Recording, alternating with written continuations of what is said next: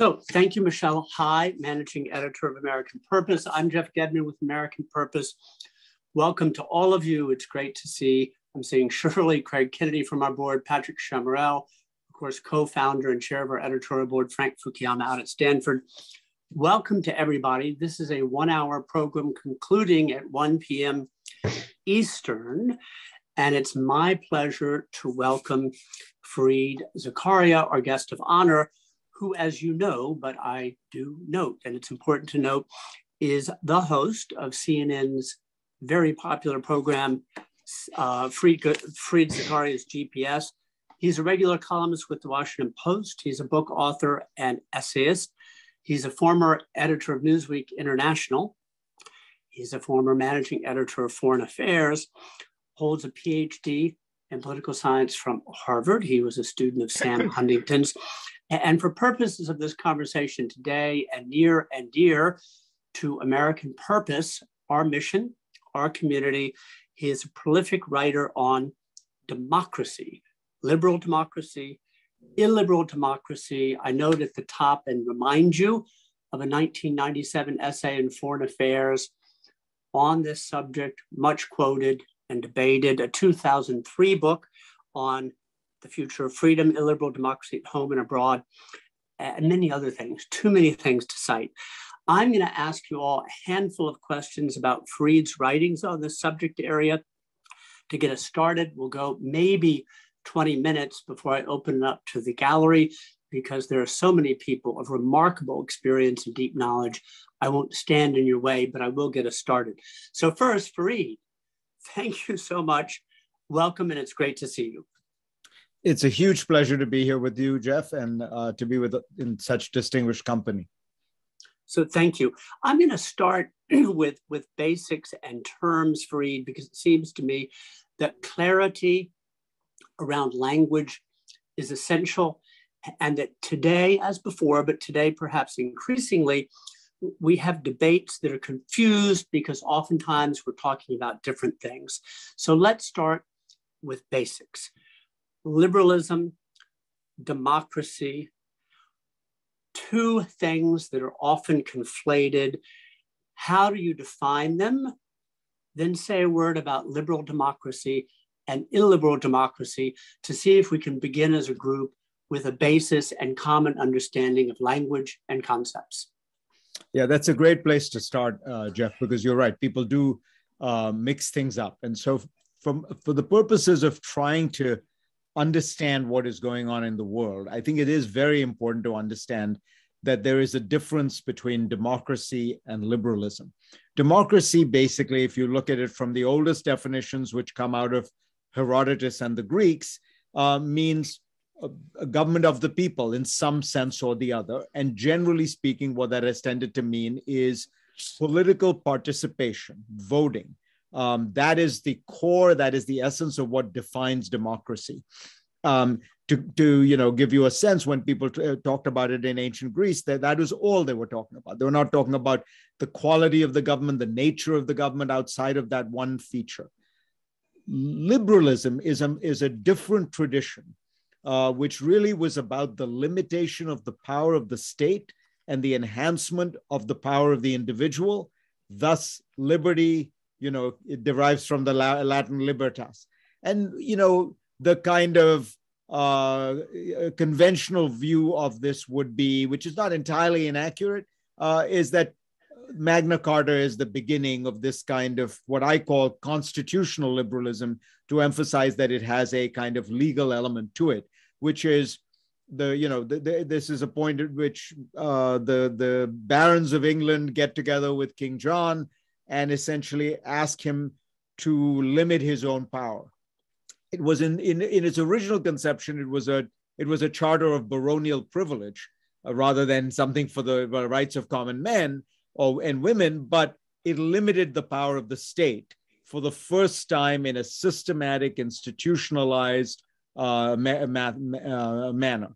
And so when you look at the development of Europe, what you see is that tradition of liberalism grows slowly, um, not necessarily tied to democracy. I mean, though the two are cousins, uh, so you can look in 1815 at Britain, uh, which by then is being called widely the most liberal state in Europe.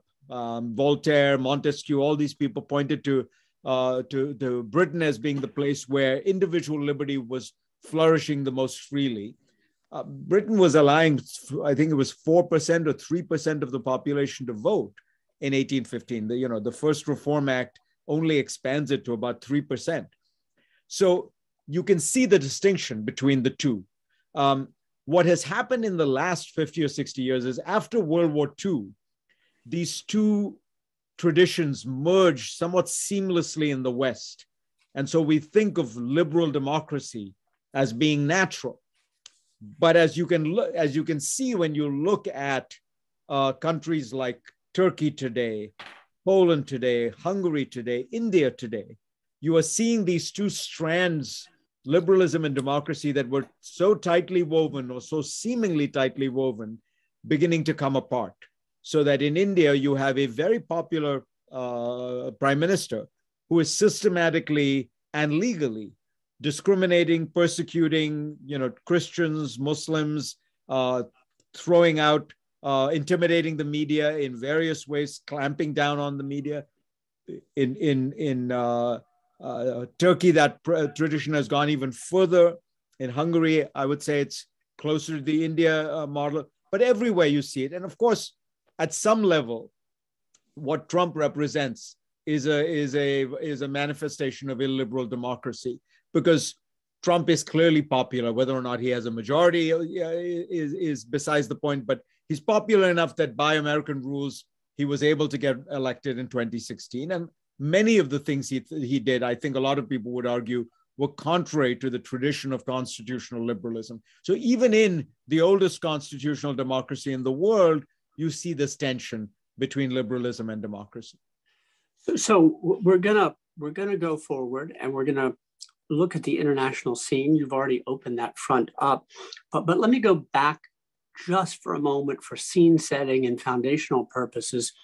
The United States and the founders, did they tend to speak or speak of liberalism, democracy, or a republic? And according to which, why? Yeah, no, entire the, the founders were clearly uh, aware of this distinction uh, and that is why they very consciously created a republic, not a democracy. For them, the democracy was the Greek form of government that had almost always devolved into chaos or tyranny. Um, and uh, of course, when we talk about the founders, there's a spectrum. There were people like Hamilton who thought that you know really needed some kind of a monarchy. Um, but I think that the most influential founder uh, for these matters was James Madison. And so probably if we focus on him, we see where, where the core of the founding project was. And that was essentially a distrust of direct democracy, of too much democracy. And so, very much recognizing the need for democracy and for popular participation, uh, but uh, taming it in various ways to preserve liberalism, to preserve liberty. So when people talk about the America, the Constitution, it's important to remember that the first 10 amendments to the Constitution are all limitations on democracy. You know, in other words, what does the First Amendment say? What does the Second Amendment say? No matter what the majority wants, these are the things you cannot do. You cannot abrogate, uh, abridge freedom of speech, uh, religion, right to bear arms. All these things are limitations on democracy. So the core, in some ways, of the Constitution was a limitation on democracy. And it comes out of Madison's famous uh, uh, uh, dictum, which is the most difficult thing to do is you have to first get the government to be able to control the governed, and then you have to get it to control itself. That is his famous for formulation in the Federalist Papers. And that second dictum, getting the government to control itself, is at the heart of the American constitutional project. So thank you. So we're going to move back forward, but before we get to the Trump and Trumpian moment and set of questions, uh, say a little bit about the following, if you would, Fareed. You, you observed that after the Second World War, liberalism and democracy seemed to join or come together seamlessly. And now we have this tension and stress and pulling apart. Before we go to people and personalities and leadership, say a word about the role of parties and also the role of informal mechanisms or intermediary associations. There's a history and context to this, and those things seem to have evolved and they seem to be in trouble today, if you agree. Could you comment on that? Yeah, no, it's a it's an excellent question because I think what you're hinting at is that the, the, the, this this last 20 years, and particularly this last five or six years, may have exposed a flaw in the founding project, in the in the in the in the in the constitutional American constitutional project. So to begin with, we were not supposed to have parties. You know, Washington hated the idea of parties. Madison hated the idea of parties, and the reason was that they did they did not want some kind of um, alignment, coalition, or group where the ideological or party loyalty or factional loyalty, Madison's term was always factions, would be permanent and would, would could override the other um, the other loyalties within the Constitution. So Madison could not have conceived of a situation that we have today, in which the Republican Party, for the most part, is placing party loyalty above institutional loyalty right? The core of Madison's project is that uh, ambition is made to counteract ambition. Checks and balances mean that each institution checks the abuse of the other. Congress checks the power of the president, and the Supreme Court, in a sense, checks the power of both. But what do you do when you have congressional Republicans who will not exercise the power, prerogatives, and checks of, of Congress but rather will give a free pass to their to the to the guy who's their president. This is not just a, a Trump phenomenon, but it's a phenomenon of the extreme polarization of the last 20 years. So I, I wonder at some level if that is a that exposes, and I'd love to hear what somebody like Frank Fukuyama thinks about this, exposes a real flaw in the constitutional project. You know, Madison was so proud of the idea that he had come up with a mechanism that didn't require that people act virtuously. But he says famously, if men were angels, no government would be necessary. But maybe that's not true. Maybe, maybe we need Mitch McConnell and Kevin McCarthy and people like that to act virtuously because they have redefined self-interest to mean whatever serves the interests of their narrow party political position rather than their congressional institutional position, which is what Madison always thought. You know, because he didn't believe in parties, he assumed all the factions would be constantly shifting and they'd always cancel each other out. But they're not. They have coalesced into two groups that owe each other enormous ideological loyalty.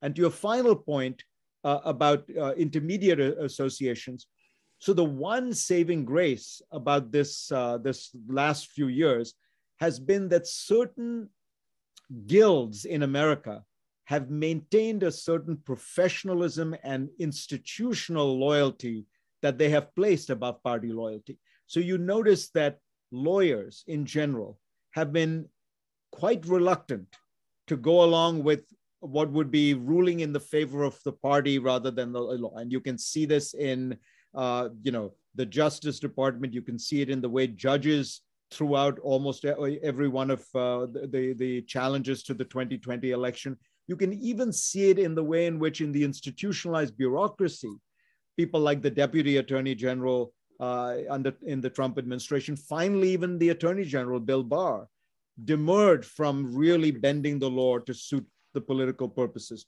I'd, I'd argue you see this a little bit with journalism, that there are journalists who have tried to maintain some level of professionalism uh, it's it, to my mind, it's a reminder, you know, of Tocqueville's great uh, uh, observation about th- these kinds of associations of how much they form the kind of inner stuffing of America and in the inner stuffing of democracy. But let me close on a slightly sour note.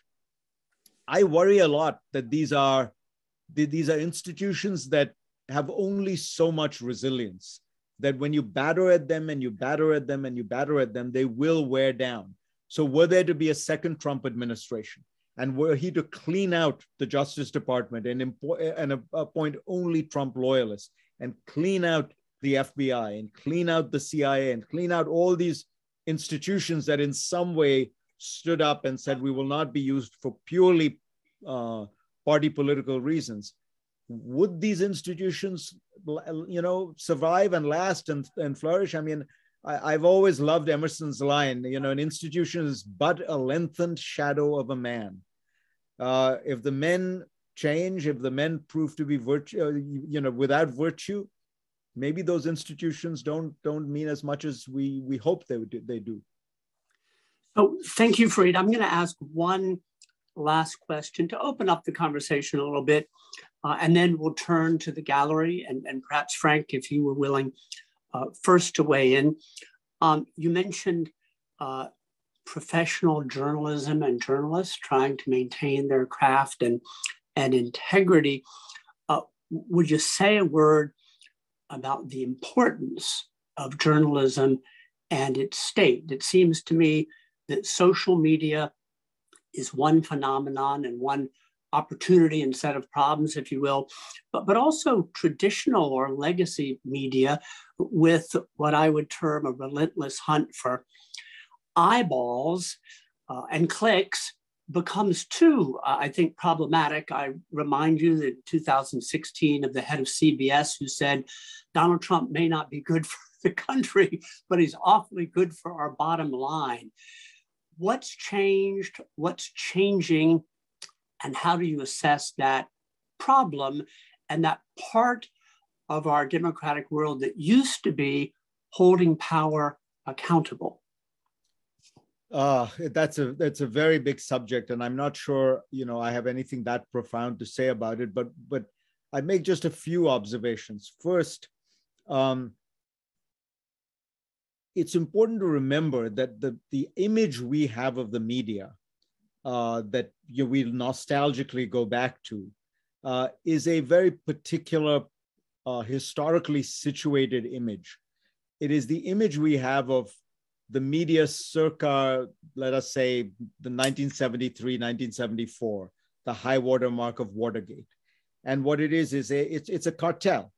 It's three networks, it's three or four newspapers, it's two news magazines, and those 10 media institutions controlled the bandwidth uh, through which Americans consume news. Uh, and as a result, because they had this very large audience, they tended to play it pretty straight and pretty pretty much you know to the toward the center, focus uh, mostly on on facts.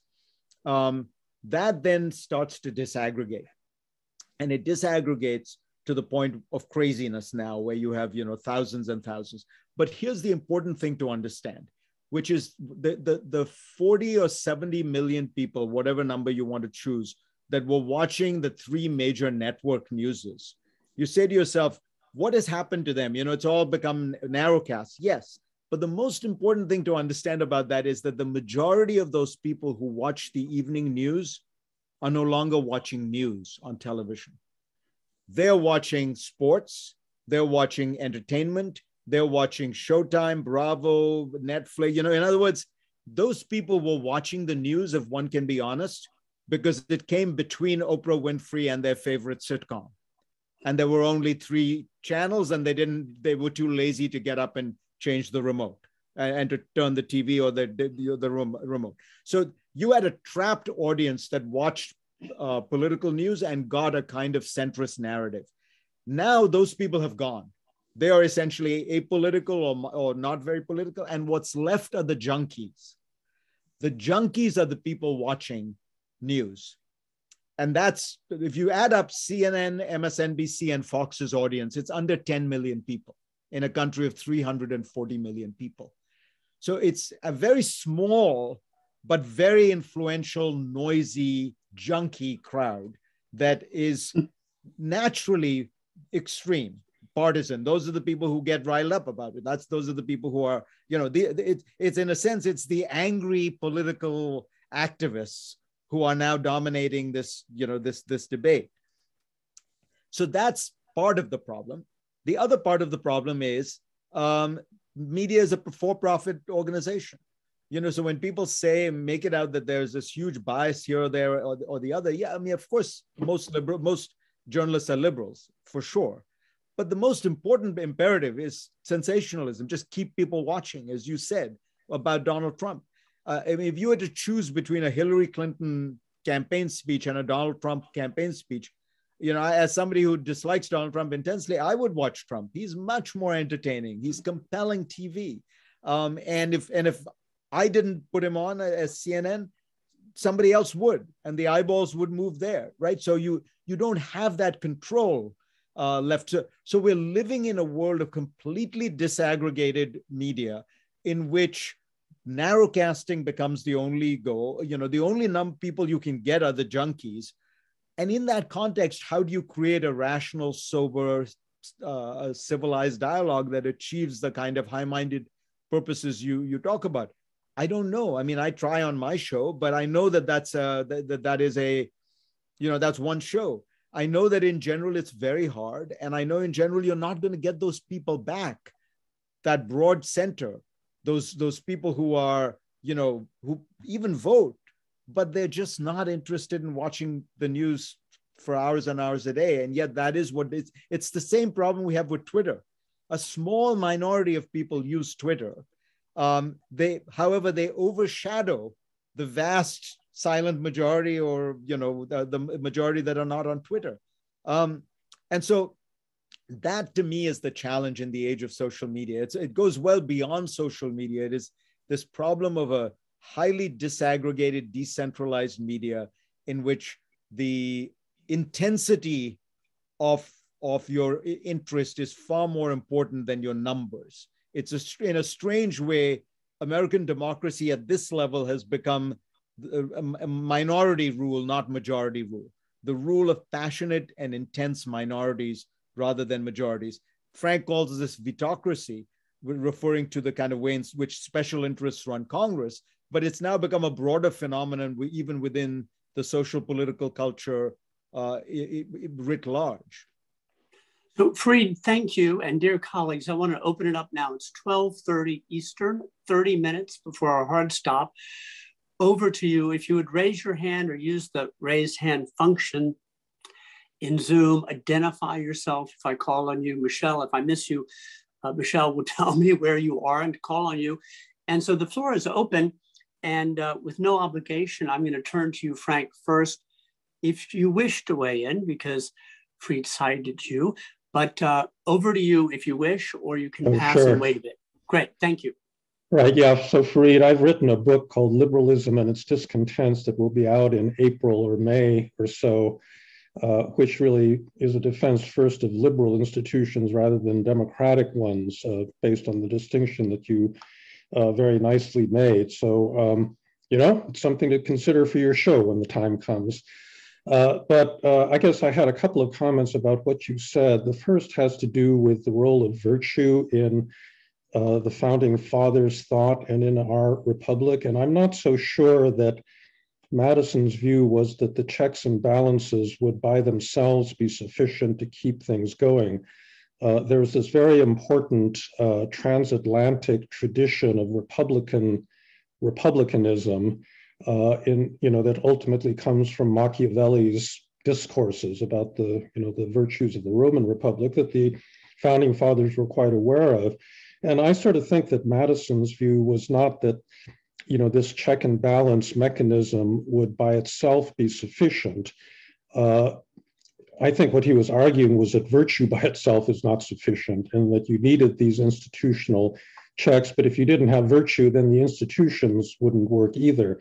And I think you can see that, right? I mean, if you get a subpoena uh, to appear before Congress uh, and you just refuse to show up, unless somebody actually compels you to do that, it's not going to happen. And so there has to be a high degree of normative compliance uh, that um, accompanies these formal institutional checks and balances, I think, for the system as a whole to work. And, and I, so I'm not sure that this is a contradiction within democracy. I think you just have to kind of expand the understanding of both the informal and formal institutions that are needed to make it work.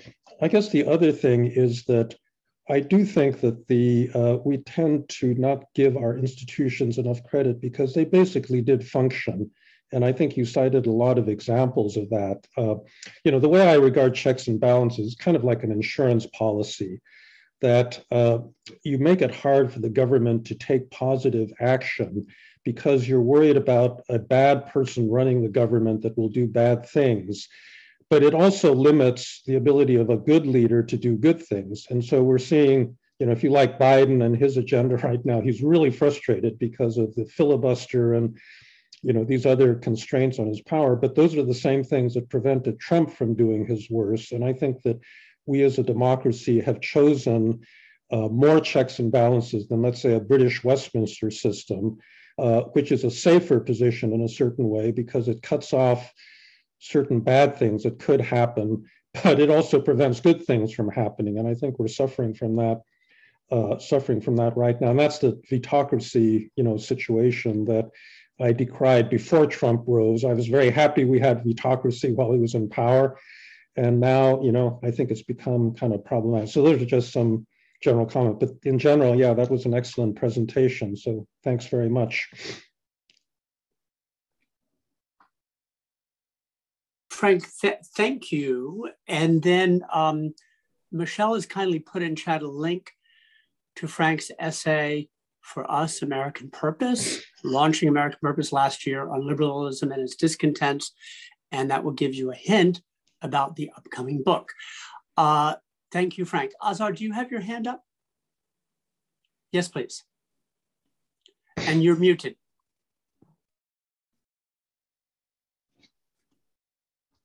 You're still muted, Azar. If you could press the, and then we'll go to Jon Rauch.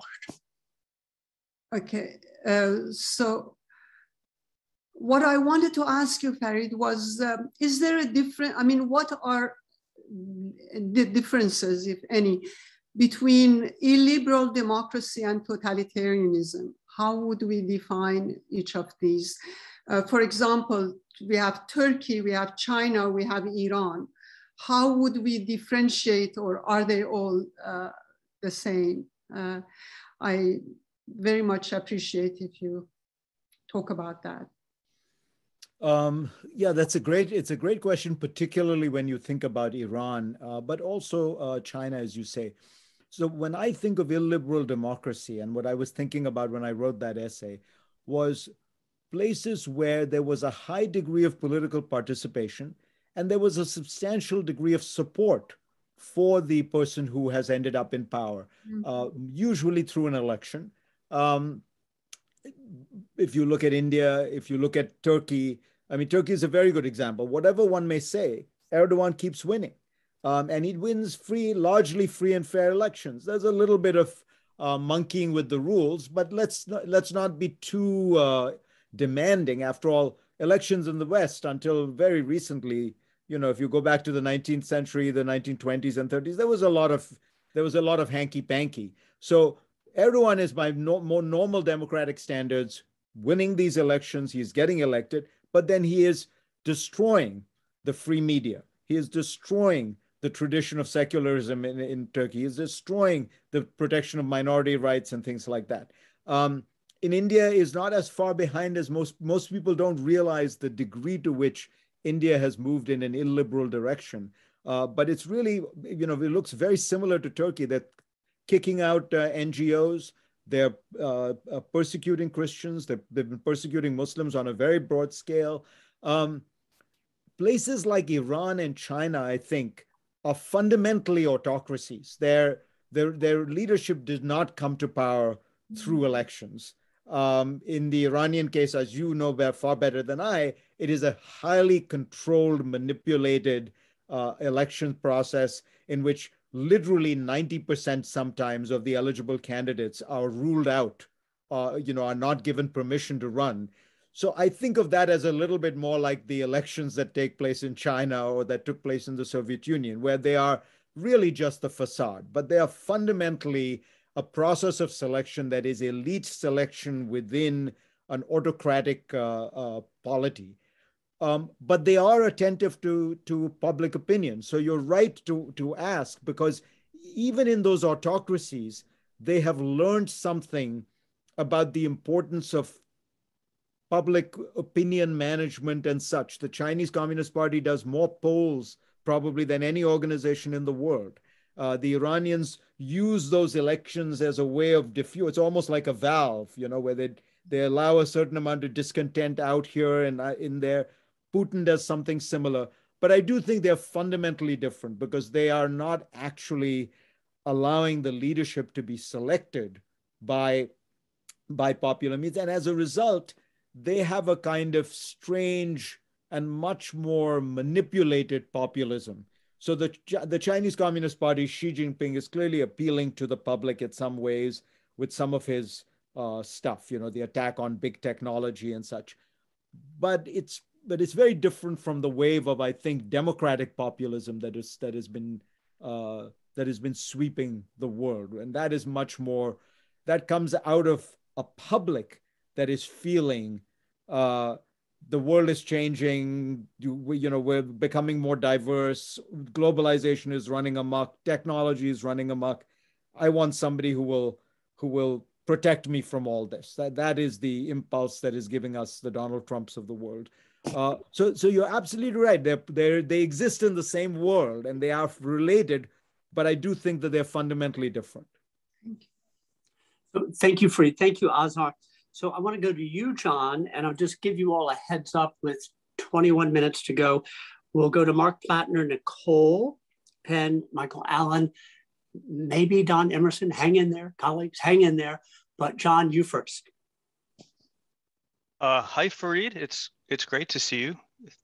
Thank you for coming. Um, I wanted to ask how you would revise and change future of freedom today. I'm sure it's a question you often get, but I guess that book's what, almost 20 years old? And it was a world where we thought the biggest threat was possibly radical Islam and maybe degeneracy of Western institutions, demosclerosis, that kind of thing. What do you think you got wrong and right? And most importantly, what would you change? Thanks, John. Um, so I think that you know if you look at the book, I, I do think, um, if I can say so myself, I I I I, I saw this this phenomenon, the rise of illiberal democracy, pretty clearly and early and presciently, if I may again say so myself. Um, I did recognize that it it it was also a Western phenomenon. You know, half the book is about uh, the you know illiberal democracy in America but I have to be, uh, be honest, I thought these were kind of populist currents within America that I was warning about that I felt were dangerous and and you know not particularly productive but they were they were at the realm of sort of trends that would be that would not threaten the American political system at all. I mean, I, I thought this was a case of you know we were we were embracing too much the idea of the wisdom of the crowds and too much the idea of disintermediating political parties and things like that. If you remember, there's a section on the, uh, on referendums and why refer- referendums are a bad idea and why we should actually do what we are supposed to do, which is delegate to representatives the the, the act of, of governing. Um, I, I suppose I thought of it very much in the the populism in the West. I thought was going to have the effect of demo, demosclerosis. Uh, as you know, I quote your book extravagantly in The Future of Freedom, uh, and because I thought it, it highlighted the sort of central problem that advanced industrial democracies had. And I was seeing this, this kind of populism and illiberalism feeding into the thing you were talking about, uh, the, the, the kind of Mancur Olson uh, problem. I did not imagine that it would threaten the democratic project itself. I did not think that it could rise to that level of discontent. Um, and I think that if you know what what happened, you know, when I what I say in a sense is where did where did you and I not see this getting as serious as it did?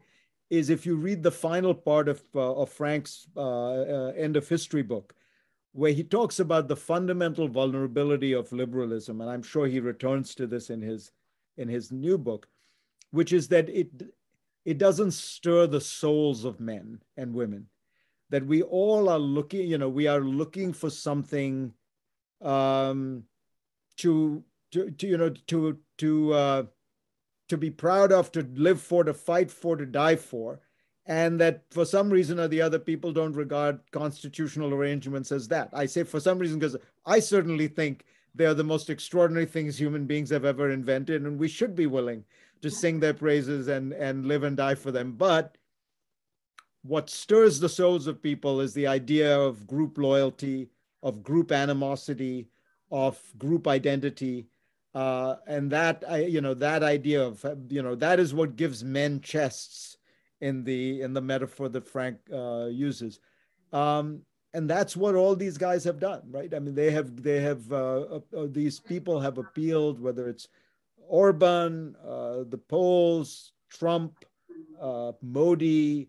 it's it's all this slightly atavistic group loyalty, and that turns out to be sufficiently dangerous that it actually threatens the democratic project itself. Where where I thought the problem was we would end up with dysfunctional government, uh, you know, kind of a certain kind of uh, vulgarity, both in culture and in politics, uh, certain sclerosis and dysfunction, but not what I think is quite conceivable, which is an actual democratic decay, uh, if not collapse. I, I wouldn't rate the possibility that high, but I think if one were to say, is there a five to seven percent chance, so ten percent chance that you are we are entering a period where every election is going to be contested.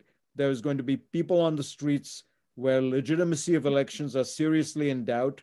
Um, that's a pretty bad outcome to be to, to, to be at, and that seems to me where we are. So John and Fareed, thank you for that exchange. Mark, you have the floor.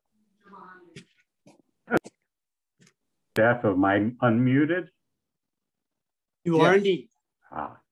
All right. Uh, very good presentation Fareed. As you may know, I've been fascinated by the career of the term that you introduced, illiberal democracy, and uh, the way its usage has evolved over the years. And in your original article, it was a term of opprobrium. It was those countries who succeeded in having elections, but otherwise were failing at um, uh, being democratic. Um, but then it got picked up by Viktor Orban as a uh, slogan, a positive slogan for what he was uh, was trying to build. And of course, there's been a lot of academic debate about is there such a thing as uh, liberal democracy? Some people make the argument that these countries, whether it's Orban or Modi and so on, don't deserve the uh, term democracy of any kind. That given what they uh, kinds of policies they've pursued, and they're simply undemocratic. And so I wanted to ask your view. I don't know if you followed uh, these more academic debates. Um, my own view is that such a thing does exist, a liberal democracy. and it's a form of regime, but it's not a stable form of regime. Because I think over the longer run, uh, it will either become autocratic or it'll get rid of the strong man and possibly have some kind of return to democracy. But I'm just interested in your thoughts on it. Yeah. Um, no, of course I follow them, Mark. I, I remember your commentary on my original uh, on my original essay in Foreign Affairs and then in the Journal of, of Democracy. Um, I, I, think you, you, you, you, look the important the reason why it's a bad idea to say these countries are not democratic is I understand the desire to say don't don't award them this you know don't give them this honor or it, it misses the point because analytically it's very important to, to understand these regimes and they do have popular support and they do have popular participation. And so it's very important to understand that it precisely gets at the question Azar was asking, right? Where, where as, as social scientists, as observers, as scholars, we want to be we want to be able to make important distinctions. And this is an important distinction. uh, governments that have political participation that uh, versus governments that don't. Uh, and then, you know, you, it, it, shouldn't just be a badge democracy that is conferred on governments we like versus governments we don't like. And here, as you know, Mark, I'm drawing on Sam Huntington's famous distinction in the in the third wave. I, I think the question you ask is the pivotal one. I don't know the answer to it. And it feels to me there are two possibilities. Because what you're saying is, look, ultimately, you can't keep this game going they'll want to stay in power and they will become more and more liberal to the point where they essentially become autocracies because there is some limiting element to how, you know de- the democratic feature of the government just means they can't keep going like this forever. Uh, and you're seeing this with erdogan right? Like erdogan clearly is trying to figure out how to trans how to turn the, the country into something like a quasi autocracy how can he stay in power longer? How can his his family now apparently controls five percent of Turkey's GDP? You know, how do they how do they expand this? I I I wonder whether you could actually maintain this balancing act for longer than people think because back to this idea of these tribal affiliations this group loyalty uh, Erdogan is able to appeal. I'm using him now as an example. He's able to appeal to this um, this group. Uh, there is on the other side a fractured opposition, which is kept fractured by a certain amount of manipulation and illiberal tactics.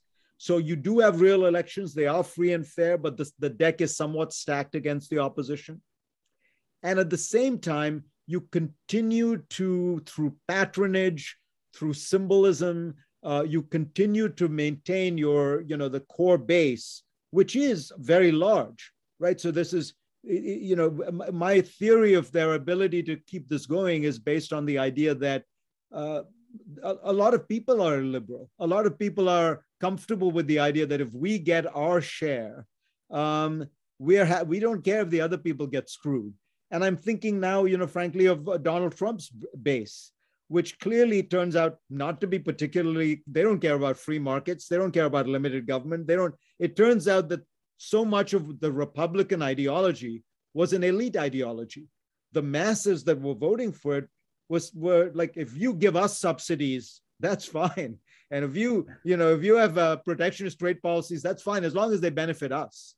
Um, and so if that becomes the dynamic, then is it possible, you know, I'm thinking theoretically, is it possible for 60% of the population to permanently maintain an illiberal democracy that essentially disenfranchises in some significant way 40%?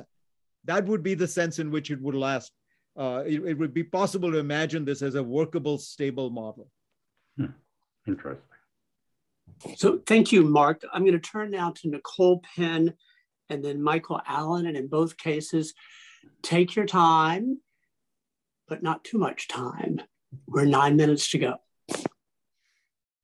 Uh, hello, Dr. Zakaria. Thank you so much. I'm sorry I came late. My name is Nicole Penn. I'm a program manager at the American Enterprise Institute, and I'm on the editorial board here at American Purpose. Um, so apologies if you covered this during your presentation, but what I'm curious is to hear your thoughts on the extent to which preserving the liberal part of liberal democracy depends on a certain sublimation of the the majority will. And you know in the united states we have this institutionalized through um, our very structure of government.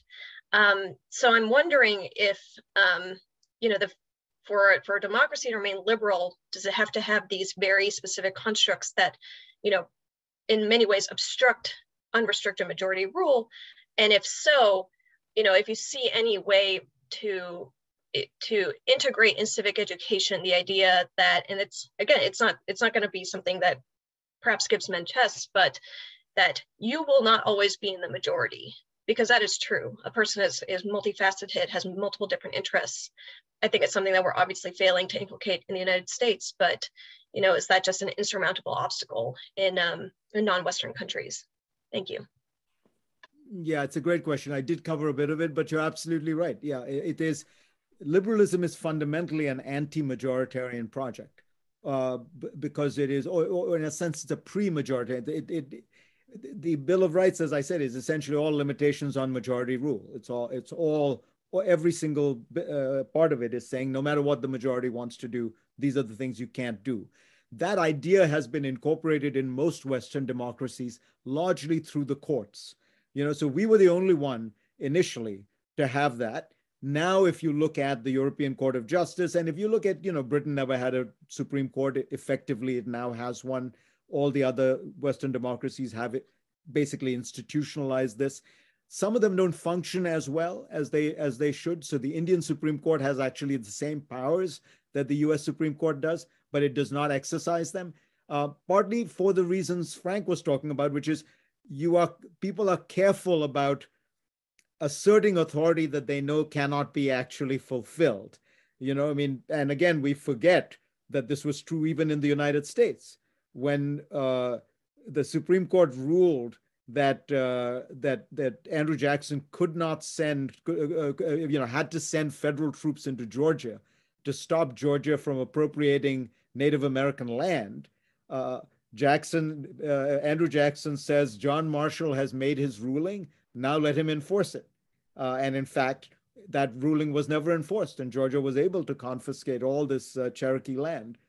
So that's fundamental to the to the idea and i think you're right one has to try to educate people that you know majorities are not always right um, it's a tough one because that also gives license to a certain kind of uh, anti-democratic you know feeling i mean you you know you, you, you hear this on the republican side now sometimes uh, where people feel like so what if we don't win elections so what if we don't win the popular vote, right? So there is a balance, but I do think at the heart of the of the liberal project, the way I'd like to put it is that the values that we are trying to uphold are transcend uh, the majorities of the moment.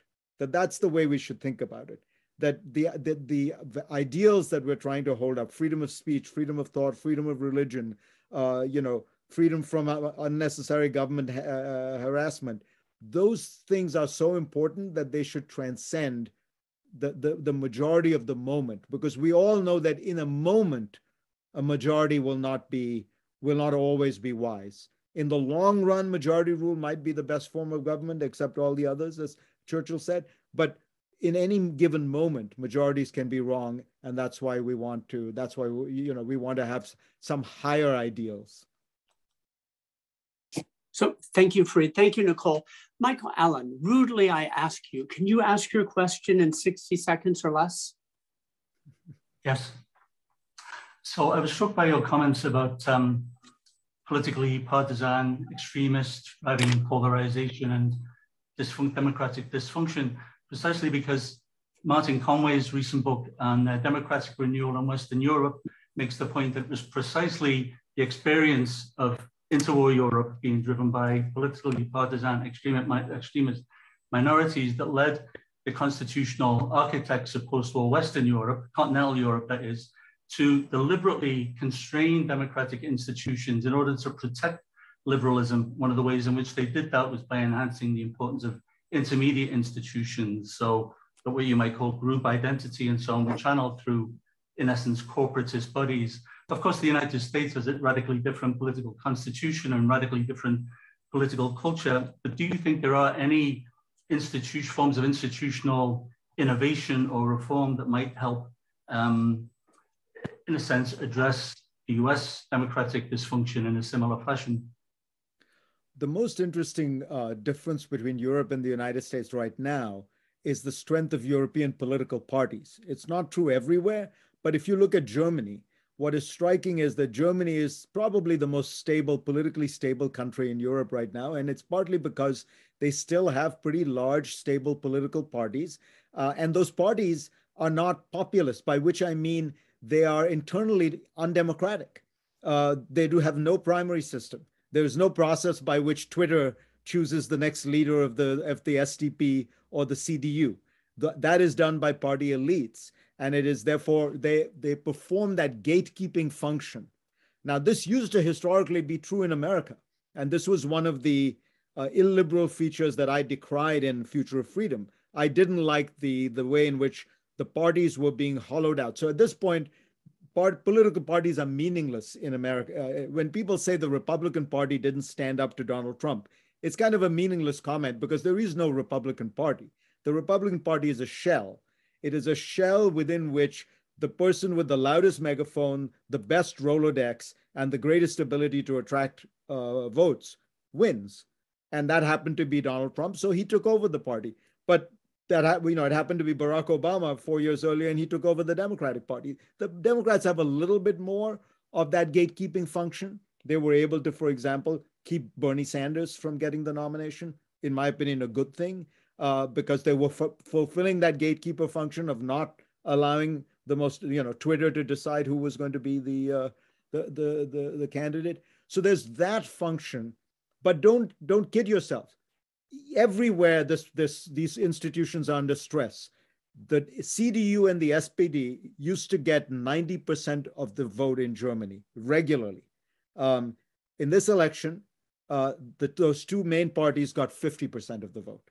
So everywhere, what you are seeing is this great dissatisfaction at a time of enormous change, which translates into great dissatisfaction with these institutions uh, which translates into a search for alternatives, newcomers, particularly radical newcomers coming about.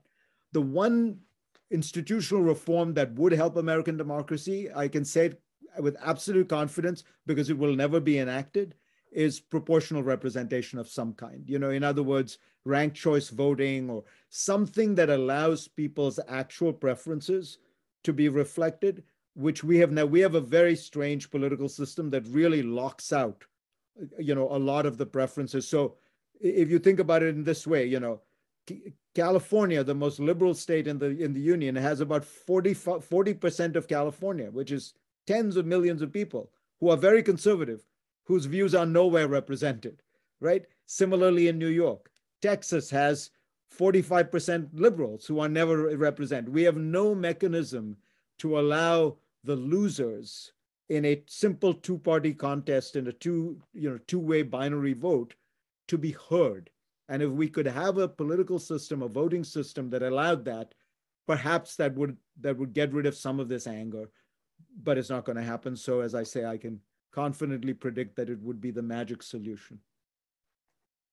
So Michael, thank you. And Fareed, thank you very much. First of all, in closing, my apologies to Don Emerson and other colleagues who've waited patiently. Come again soon. Watch us, listen, read. Read, by the way, tomorrow, Larry Diamond on some of these questions pertaining to the strength and resiliency of American democracy, in particular in reference to three elections for governor in 2022. Keep reading and watching always. Fareed, if you would turn your cameras on just to say goodbye if you're in a position to do so. I want to thank you, Fareed, for your valuable time, for a stimulating and challenging conversation. And as guest of honor, I'd be happy to offer you a final word or concluding thoughts. Well, I just want to say this is an amazing group that you've put together. Um, easily the high, most high-powered group I've I've had a discussion with about about these issues in a long, long time, and uh, it's a huge pleasure to do it, and it's an honor. Thank you, Fareed. Thanks everybody for making time. Have a great afternoon, great evening. Thank you so much.